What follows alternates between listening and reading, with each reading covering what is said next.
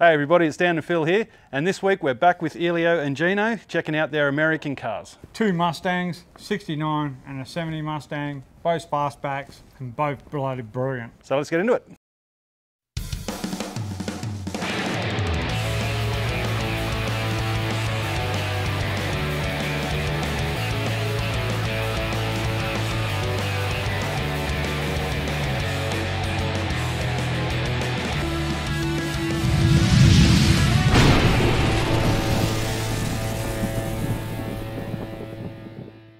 Hey everyone, Stan here. Welcome back to Aussie Garage. Back here with Elio again this week, and uh, we're talking about his Mustang. Mate, tell us a little bit about this one. No, it's a 69 Mach 1, originally from the US, bought through Queensland in 2008. Gino bought it in and I purchased off of him in 2018. Yeah, no worries. So I guess there wasn't much to do to it at that point. Was it in pretty much the condition that it's in now? Oh, it's practically what you've seen it. I've just tuned a few little things on it, like I gave the bonnet a new paint job because it originally had the cables that go down to, to protect the bonnet from Yep. lifting up, and they scratches all the front of it. So I repainted that. No, as you see it is, it, that's it. That's as it is.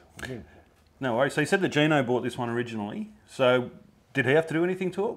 Apparently, when Gino got it, he fitted uh, Cobra Jet disc brakes to it because this car came out with four four wheel drum brakes. Oh right. And he had fitted disc brakes to it to help it to stop a little bit better. But no, I've done a lot of work on it since we've had it. Like I've redid the whole braking system from front to back, front suspension, put a new gear stick in it because the original one was like a spoon in custard. Yep. So I put a brand new gear stick in it and apart from that, yeah, she's pretty well right now. Did a little bit of work under the engine bay just to dress it up, make it look a little bit more prettier. No, rest of it as it is. Do you guys know um, He- where it came from in the states, that sort of thing? Funny that, I'll show you something about that. When Gino bought the car in in 2008 and we took the front uh, passenger door off to redo the hinges, it actually had that inside wow. the door. It's a parking Yeah. ticket. Washington Athletic Club. Yeah. Yeah. Okay. So I've kept that and just a little bit of history about the car. Fair enough. So what what's what colour is it? I mean, uh, it's just a Ah, silver. Do you know what the silver is called? This one? Got no idea. It we I've had a guy in Malaga have a look at the car, and he reckons it's basically the same colour as uh, BF Falcon Silver, Okay. a little bit brighter, because the original colour is supposed to be Acapulco blue. So it's had a respray somewhere along the line. Yes, Yeah. it was resprayed, resprayed back in Washington, and Gino saw it on the internet and said, "Oh, I'm going to get this car." And eventually, he bought it, and then I purchased it off him. Tell you the truth, the wife fell in love with it. The wife loved it. She reckons of all the cars that she's seen in Mustangs, the silver's different because you won't see a Mach 1 in silver anywhere in WA. She wanted it, and she goes, "Oh, let's get it, let's get it." And so we made him an offer, and he sold it to us. And it has, it stayed in the family. It's a very photogenic car. People want their photos with it. Everywhere you go, people want their photos with it. So, Yeah. Yeah. You were you were just mentioning earlier that um, was it the Iranian women's Iranian? Women's Soccer, soccer Club, yeah. Yeah, that sounded like a funny story. we did VCC Club down at Scarborough Beach last year. And where we were parked was right in front of the uh, Observation City Hotel, or whatever it's called now. And the young girls all come out and the soccer team and they gathered around my car and you'll see Gino's car after. And I don't think they've ever seen it. And they just wanted to have a look at it and they were having photos taken. So we gave them an offer, would you like to sit inside and have your photo taken? For about an hour and a half, all I did was opening doors, closing doors, opening doors. And they loved it. Yeah. They reckon it was great to actually let someone sit in their car and have their photo taken. It was fantastic. It was good to do. Yeah. Well, they probably wouldn't get a lot of Mustangs in Iran. No, I don't think so. I would so. imagine. Yeah. No, no. Would have seen them on TV, of course. Well, we did a show, I think it was at the Hyde Park, because the original antenna on the car no longer exists. Okay. Because, because we can't rope them off, they won't let people walk around. Well, I don't want to say this too loudly, but it's women with handbags Yep. and they swing around and it took out the, the antenna. And it's a teardrop antenna. And to replace it, it's just, it's a phenomenal amount of money. Yeah. Okay. So the base is still the original base. I went to Super Cheap Auto. I grabbed another antenna, modified it, had a friend of mine turn up the base for it, and now it, the antenna doesn't get knocked off at car shows anymore. The numbers are still matching, and it's a one of one car. From what Gino tells me, that this car here is one of one because it's got the only Mach 1 that's ever made with intermittent wipers. Oh, okay. It's That's only an one. interesting spec to make it a one of one, though, isn't it? Yeah. All right, so the 69s are quite unique for the headlight setup in these, I believe. Apparently so. It's the only Mustang that came out with four round headlights. It's got the, the spotties here in the front, Yep. but they're actually moulded into the grille where all the other ones are an aftermarket. Or it's an option to have them fitted after, but the Mach, the 69, the Mach 1, all came out with the four round lights. All right, mate, so what have you got there? Well, in, I had the car stored at my house in 2014, 2015, because Gino needed places to store his cars. And we did the Mustang Roundup in 2015, and Shannon's was sponsoring this, this show. So Gino goes, bring the Mach 1. So I took the, Must, the Mach 1 there, and it actually won it. Nice. It won the Roundup, won best, best Mustang in this guy's eyes, and he goes, this is it, and you've got it. And well, befitting, I won the trophy in 2018. I own the car, so Yep. I can't complain. So who took the trophy home on the day then? I did. Yeah. Mind you, mind you, it had it had a sore spot with the owner at the time. But I said, "Oh, the car's going back to my place. So's the trophy." So the car's actually actually won something, which is good. yep. No, nice, mate. Well, it certainly deserves it. It's a beautiful car. Oh, she's nice. Yeah. Well, anyway, let's uh, pop the bonnet and have a look under there. We can do that. There's a big block 390, Wow. big FE block. Beautiful. So this is the factory factory fitted engine? Yeah. Yep. Still matching numbers. All we've done to this is I put new set of Edelbrock chrome rocker covers on just to dress her up a bit. Nice chrome air cleaner so you can see the engine. The original one's just massive. I've still got that in the cupboard. Yep. Put a new coil on it, new spark plug leads. It now runs a electronic ignition inside. Yep. It gives it a little bit more better spark. It looks huge in there, doesn't it? It's there's- massive. There's, not a lot of room between the, the No. rocker covers and the um, shock towers in this, is there? No, Yeah. you want to try and change the spark plugs in it. I could imagine they'd be uh, they'd be a struggle to get to. Yeah. Yes, yes. There's uh, a unique way to do it, and I've been shown how to do it. And Yep. Take one out, practice putting it in. Take it out, practice putting it in. Get Okay. new one, and you can never get the new one in because Yeah. you're scared you're going to drop it. Yeah. But no, it's it is difficult, but we change the spark plugs every now and again just to keep it running well. We've had a whole new radiator system been changed in it. It's had a new carby on it because the old carby just it wasn't worth if- for me to try and keep it going. To get the old carby made back to original standard, it, we put a new Holley on it, which makes it run better. The old carby's still sitting in the box. Have you gone internal on this one? Have you done anything internally with this one? Not not yet. There is plans to rebuild the engine back to stock, Okay. and that's somewhere down the track. So back to stock. Um, I want, I'm going to tickle it a little bit. okay. Yeah. I'm going to put a little cam in it, uh, leave the compression ratio the same, put a uh, performance uh, Edelbrock performance manifold on it. But that's about it, just to make it Just to get it flow a drivable. bit better. Yeah. Yeah, just to make it a little bit. It, right in its current form, as a cruiser, you can drive it all day. It doesn't get hot, runs smooth, doesn't have air conditioning. Unfortunately, it's not a, a car you want to drive around in summer, but it drives all day. It goes all day. There's no. The wife doesn't complain that it's too hot. It's just a good cruising car. Yeah. Really reliable now. So I mean, what sort of gearbox you got running behind it? it runs the original four-speed top loader. And the diff? The original nine inch. Yep. Unfortunately, it's not a limited slip diff because the Mach ones don't come out with limited slip diff. Okay. It's the only Mustang apparently doesn't come out with a limited slip diff. And the hot pink battery. Oh yeah. I can guess. I can guess, but I'm sure it was something to it was uh, it's a well the battery died in it, so we did a holler for a marshal because we were going out for a breakfast with the Mustang Club. And Marshall come out straight away and they said, "Oh, we've got the battery that'll work the car, but it's pink." And I said, "Mm, "Can I ask you why the battery's pink?" And he goes, "Well, it's to support women with breast cancer." So no problem. Yep. Throw it straight in. Yeah. Put it straight in. Spot on, mate. So Perfect. We should probably go and have a look inside. We can do that.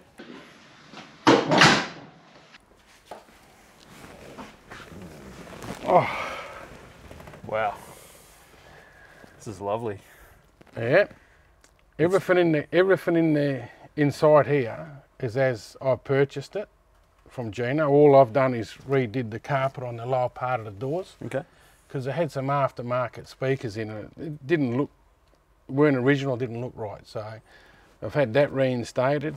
And you said the only other thing would be the shifter, wouldn't you? Is that a new yes, shifter? brand new Yeah. Hurst whole mechan- whole shifter from the gearbox upwards is all new because they lose their tension. They've been thrashed. This thing here is nice, but I have done a slight change to it because when they come, or when the master hand, when you drops in the second gear, it's right down here, Okay.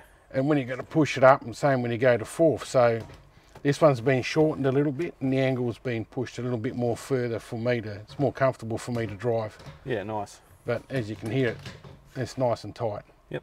No, beautiful. And the original radio face in here, is that one being Bluetooth or anything like No, that? no, no, it's as it is. Yeah. We don't listen to much to radio. We listen to more the engine. Yeah, yeah. I don't blame you. yeah. And the tilting steering wheel for get, making it easier to get in and Yes, out. That's always been a feature with these American cars, hasn't it? Yes, and especially when you go to a show or something and people walk past and they see the car with a tilt steering wheel. I said, "How do you drive the steering wheel like that?" I said, "Oh, it's just you just get used to it." they don't realise that when you open the and close the door, it, it tilts to allow easy in, easy access because Yeah. this car here has what they call deluxe deluxe interior and it has the, the back behind the seat drops down so when people used to go skiing in America they could put their skis through the car. Yeah, okay. So it's got that deluxe interior for that, and the steering wheel's part of it. Yeah. And that goes automatically with the door. Yep. As soon as you once you've started it up and you and you go and park, as soon as you turn the key off, open the door, the steering wheel will tilt. Yeah, right. Is that electronic or No, vacuum? it's or- vacuum vacuum operated. Yeah, okay. Yeah, the tank's up underneath the front wheel on the driver's side, and make sure the hose is always on it. And Yeah. As soon as you turn it off and open the door, it tilts, and you've got to be real careful because it's not the original steering wheel. The Mustang emblem. when it when it jumped up, this would fly off All right. and always hit you in the man parts. So Right, okay. it's now been siliconed on. I was going to say, yeah, you want to fix that. Yeah, but as you said, the rest of it is as we purchased the car. Yeah, no, and it's it's beautiful in here. It really is. Yeah. All right, well, um, let's go and check out the back end and see what's going on out there. No problem. Sweet. All right, mate. So this is the business end, isn't it? That fast back. This is what Mustangs were all about, wasn't it? That Oh, yeah. Sloping fast back. That nice ass end of it. Yep. No, absolutely beautiful. Yeah, just enough room for your spare tyre and, That's it. and a day pack by the look of it. That's all it is. But hey, that's how that's how they made them. That's how we we try and keep them. It's part of its originality. Leave it like it is. It's not a, it's not really a show car where you want to you know like box it all out and hide everything. So like I said, I don't. The boot just has the cleaning products when we go to a car show in the back, and that's it. Yep. There's not even room to put an esky in there. Yeah, just doing a its practical service, and that's all it needs. Eh? That's all she's got to do. Yeah, no, awesome, mate. And now we've got the quad pipes sticking out the back there. Yep, that's orig- all original. That's how they came out. So I've had half the, the exhaust and new mufflers put on it. Yep. But we're trying to re- maintain the back end of the car to look like it's how it came off the showroom floor. But no, Yeah. that's that's the back end of it, and that's what she looks like. Hey guys, um, just come along, grab some merch, support the Aussie Garage channel. As you can see, great shirts, great hats, as Elio's modelling here. Good stuff, get onto it. All right, guys, I'm here with Gino. Now, Gino, let's talk about this car, mate. So, what is it? This is a 1970 Boss 302 Mustang. Um, bought it in from the States in 2006 Okay. and I've had it um, ever since. And uh, when you got it, it, obviously, did it look like this, or did you have to do a lot of work to it? It was it was it was funny because when it was advertised in the states when I saw it and it said you know original boss blah blah blah etc and it said needs some work and what you see in the photos and how they present the car is one thing when it came you know rust times three I think is what the saying is yeah I had to basically do a full restoration so we put it on a uh, rotisserie and Ray in Beckenham was the guy that did it for me and yeah it came out really really good And how long did the whole um, um, restoration take you to get done? two years Okay. Yeah, so okay, that's not too bad. Yeah, so that was you know full like we went right back to everything. So he done a uh, done a really good job on it. Yeah, perfect. So the colour of this car, what is it called? This is called Calypso Coral. Okay. It's very similar to the Australian Vermilion Fire because in the 70s and when, when Ford were using the colours, they got a lot of the colours from the States. So this is Calypso Coral and in Australia, it's Vermilion Fire. Very, very similar. The, Um, the stripes yeah. are reflective 3M. So if you photo it at night, Yep. they actually shine white. Oh, okay. Yeah, white silver. So they're very bright. They don't they don't look black at night. So yeah, the, the, that's black. That's painted black. But these stripes are what 3M reflective black. Why did you buy this car? I think, as I said in the previous interview, I told my wife when I turned 40 I want to get another car. And I didn't know what to buy. I was looking at Australian cars, American cars, obviously. And I came across this and, and I thought, gee, that looks, you know, it had the shaker and it just looked really nice. And I thought, it's a two door because the coupes were expensive back then. So I thought, I'm going to get it. And, and this is what started the craze again of getting back in 2006. Yeah, perfect. I mean, and I know that Dan just talked to Elio about the other Mustang you had and which sold to your brother, but Yeah. a little bit different, but kind of similar, aren't they? Kind of models. The 69 and the 70 are are exactly the same body shape as such.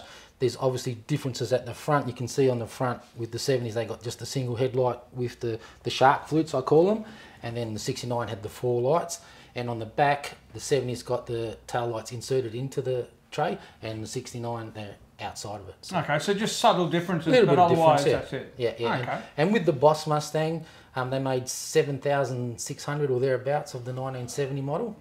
And they changed a few things on this. Like you'll see, other 69 and 70s have the cutout on the quarters, the fake cutouts. They took them off on the 69 70 bosses and they just filled them in. And they took the emblems off the side and made it a basically like a bog stock because this was getting ready to race in the Trans Am series. So they didn't want a lot of stick ons on it.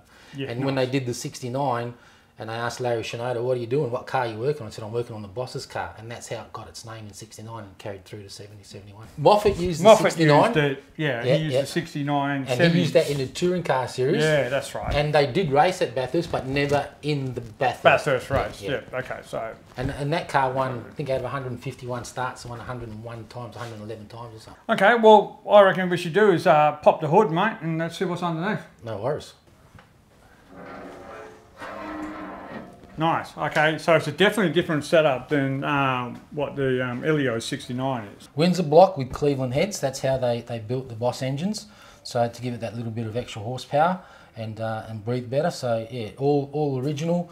Um, I haven't done any mods to it as such. I've kept it as original as I could. Obviously, when we did the restoration, you know, down to the stickers, the the markings on on here and there, and tags and that. So I tried to keep it as original as possible. And behind the um, uh, motor at the moment, what are you running? It's running a top loader, this factory top loader. So it's got that in there, and it's got a uh, LSD nine inch. It's funny because the 69 didn't have the LSD, but this one does. Yeah, the boss came out with it. Some there's some bosses that didn't have the LSD diff as well. Uh, depends on what you ordered from from spec from the factory. Okay, It so it, was might have been an option. Yeah, thing, hundred percent. So you could get W codes and all different things and that drag packs on them and stuff like that. But this was a bog stock, original like basic boss sort of thing, other than the shaker scoop and the diff. So yeah. it's still Um, running Yeah. um, twin point distributor. So Oh, still- wow. it's so it's still the yeah. old point system. Oh, Yep. oath, yeah. Okay. Yeah, so Yep. And the other thing is, I see that you got a signature in the corner there by Allan Moffat. Yeah, in, in 2010 we did a, uh, a show at Stanbridges and Allan Moffat came over and did a, did a signing and they asked us to bring our cars down so I brought the boss down and yeah when he came out and had a look he fell in love with it because it reminded of his 69 that he had and um, he said look I'll sign it for you mate and I said no problem so he signed the, uh, under the bonnet and also on the interior for me. Oh, perfect. I reckon we should uh, have a look at the interior, mate. No worries. Oh, wow. This has got heaps of leg room. Look at this. It's not bad isn't it? nah, it's good. Like, I like this. So, Hurst shifter. Her um, shifter from factory so that's how the bosses came out. Perfect. on sitting on top of the top loader. No, no console. I mean, you could No. order the boss with a console if you wanted, but Yeah. obviously this one didn't come with one. So, and you know, it looks all right without it. Very basic gauge, not even a tacho Wow, okay. on on the uh, on the 70. Again, that was an, an option if you wanted to get a tacho back on the 70 boss. So no tacho on this one, Nice. and yeah, it's just bog bog stock AM FM radio, which is is good. Yep. But uh, other than that, yeah, that's just how it is. And the back seats, it's uh, only seats for uh, four people, of course. So Only seats four people, small people in the back. All that we did when we when we did the restoration, that's still the original um, dash pad. We didn't change that, so they had no cracks. It was really good nick. As I said, that's the original gauges. Um, I changed the the carpet. So Nice. that, that was all that we changed in here. The seats were as they came from America. So whether they're the original, I'm not sure. But you know, from since 2006 when I've had the car, that was uh, they're there. The Perfect. Door trims, same from 2006. I haven't changed anything there. Nice. The only thing I changed on the doors was the speaker covers. One one was cracked, so I bought Okay. two new ones of those. Um, other than that, the back seat is is it's not a fold down back seat. It's it's pretty much is. That's Yep. the uh, the original roof lining. I didn't change that, so let's go have check out the boot. no worries. Oh, nice. Like, definitely a lot more room than what Elio's got. Um, and you were explaining that uh, because his is a fold down seat, it's got the compartment whereas yours doesn't. Correct. So yours has a bit more space. Yeah, yeah. So it's got that bit missing in the back there. So Okay. then it's already there for it. But with Elio's, that bit folds down, and then you can get the longer bits in it. So Now, you were telling me about there's a rod that goes into the side of the boot here just to keep it up because of the weight of the spoiler. What's that about? yeah. So what what they did with when they fitted the spoilers to the back of the Mustangs, because it's such a small boot area, that you'd lift the boot and it'd come back down. So what they did, they put this little rod in, and that holds the boot up. So then you when you stick your head in there, it's not falling Not down. coming on down on Yeah, your head. yeah. Okay. I can see how you talk about the, the lights are actually inserted in. Yep. Um, they definitely look that way compared to the um, the 69 Mustang. Um, and the back end is a little slightly different with the like the way it's configured with the fuel tank and things like that as well. Yeah, yeah. So they, they did it with the put the lights in, put a surround. Whereas the 69, they just stick out and it's got a little surround around each individual light. Yep. Whereas this does the whole lot. On the Mach ones and other Mustangs, these are chrome, but on the Boss they're black. The only thing they did wrong with this, this is, was the space saver spare tire. Yeah, that is that is a very interesting tire because when you're looking at that, you're going, how's that supposed to fit on the bloody car?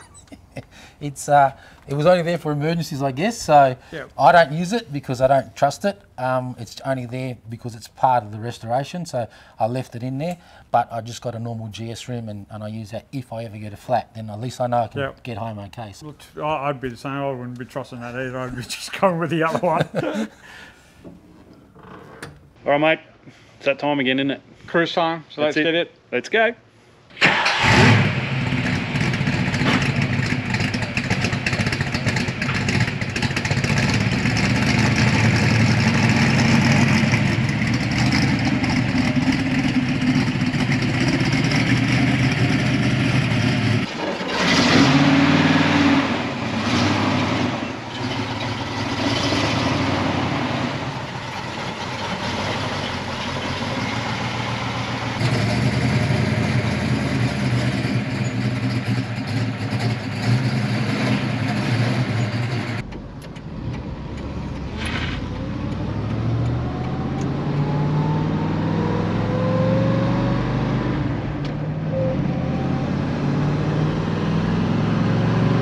Is quite comfortable, this car, isn't it? Very nice. This doesn't have nothing, unfortunately. But hey, like I said, Big O Cruising is fantastic.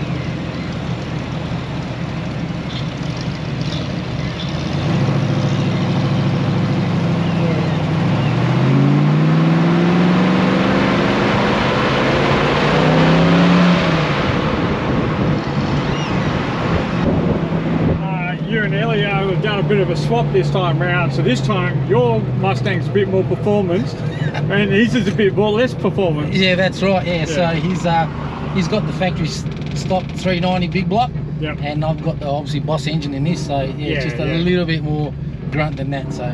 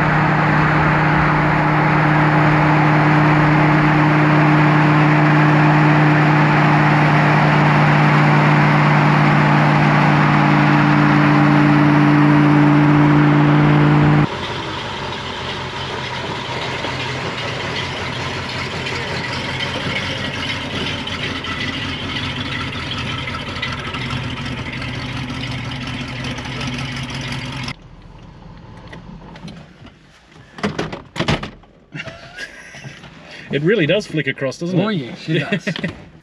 All right, guys, we've come to the end of the episode and stuff like that. We've taken a cruise, magnificent cars, love them to death. These things are brilliant. So thanks for having us out once again. Um, I think we're going to be back next month, but next month we're only going to do one vehicle, Yep. um, and then we'll move on to the rest of the collection. Thanks, mate. Appreciate it. See you next time. See you next time, Cool. guys. Thanks, mate. Thanks again, Thank guys. Dan. Thanks, buddy. Appreciate it. No worries at all. Thank you very much. Thank you, mate. Appreciate Good it. luck with the future. So what's going on down there, Elio? What's that, mate? I'm cleaning up Gino's mess from his car. Oh, right. Oh, How do you feel about that? I wouldn't call it mess. I'd call it leaking horsepower. Oh yeah. hey, no worries.